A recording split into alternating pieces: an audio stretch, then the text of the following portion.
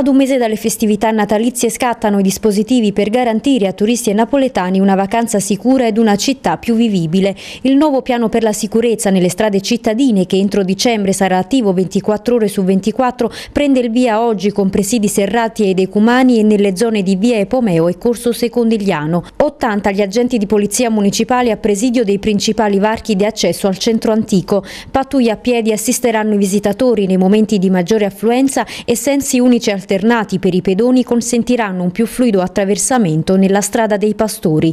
È prevista inoltre l'installazione di infopoint nelle principali piazze dei decumani per fornire informazioni sugli itinerari artistico-culturali ed anche sulla mobilità. Uniremo in questa zona le attività di controllo e di sicurezza ad attività di informazione eh, e di ausilio a tutti i turisti che arrivano qui per visitare la zona dei Decumani e la zona del centro storico. Abbiamo eh, stabilito un rapporto con l'associazione degli albergatori e con l'ente provinciale per il eh, turismo affinché questo servizio possa eh, funzionare nel migliore dei modi. Sul fronte sicurezza proseguono i controlli contro i parcheggiatori abusivi. Negli ultimi giorni circa 170 persone sono state identificate e schedate grazie al lavoro della municipale e sono al vaglio dell'amministrazione misure straordinarie per contrastare in maniera definitiva il fenomeno.